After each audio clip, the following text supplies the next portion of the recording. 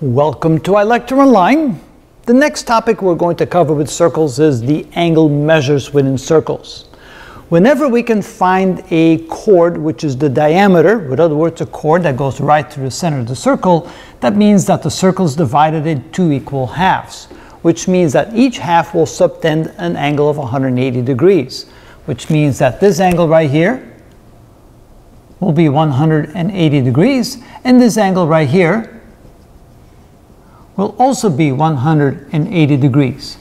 So in this example, we have three angles in the top half of the circle, one that's marked 25x degrees, the other one that's marked 3x degrees, the other one that's marked 2x degrees, and they want us to find the value for x. So in this case, since all three angles make up the top half of the circle, we can say that 25x degrees plus 3x degrees plus 2x degrees equals to 180 degrees.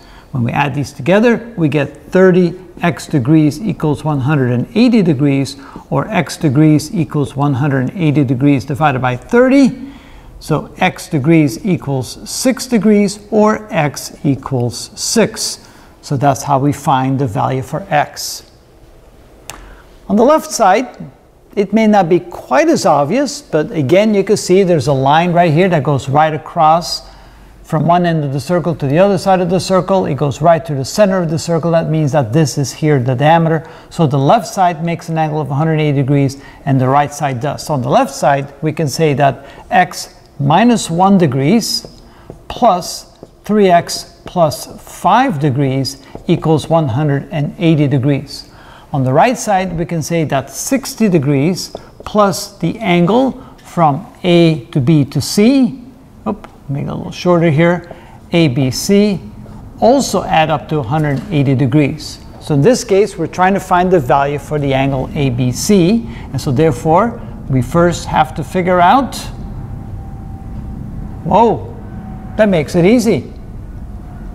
Yes, that makes it easy because that's the right half, so we can simply say the angle ABC is equal to 180 degrees minus 60 degrees, which is equal to 120 degrees and we're done.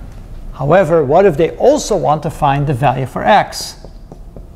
Well, then we have to solve this side, this equation right here for the left side of the circle.